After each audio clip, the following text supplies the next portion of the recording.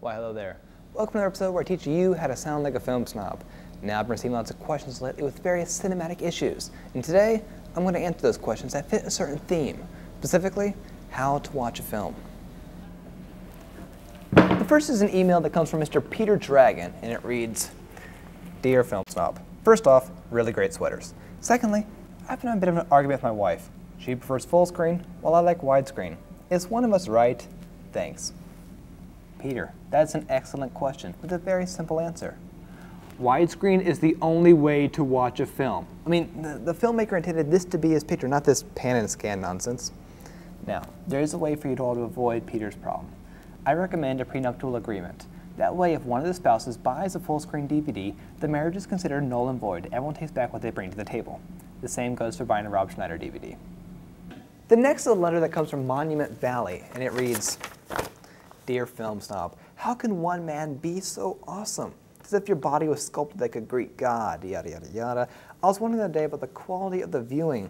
People are always talking about HD and surround sound with their home viewing system, yet shouldn't the quality of the film speak on its own without these unnecessary enhancements? Keep up the great work, Marion Davies. Thank you, Marion. That's an excellent question. Yet unfortunately, you were wrong. You wouldn't hang a Picasso in the bathroom and you wouldn't watch Fellini on a 19-inch TV. It is perfectly acceptable to take out a loan to get a proper viewing system. Everyone's a third mortgage nowadays. Oh, someone left a message on my Twitter account. And it's our very own Keith Jackson, executive producer of The Reel Deal. Let's see what he says here. At Film Snob, what do I do when my house phone goes off when I'm watching a movie? Thanks. First off, they're called films, Keith. We've, we've been over this.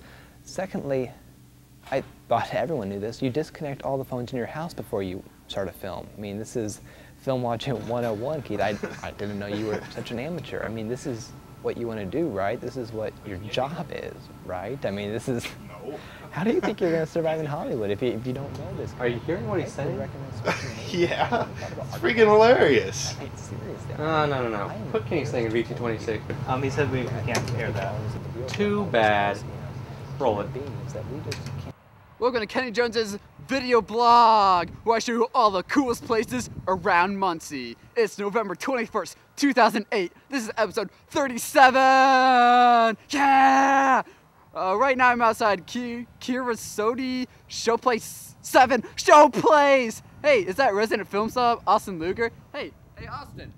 Austin, hey, hey, uh, uh, what movie did you see?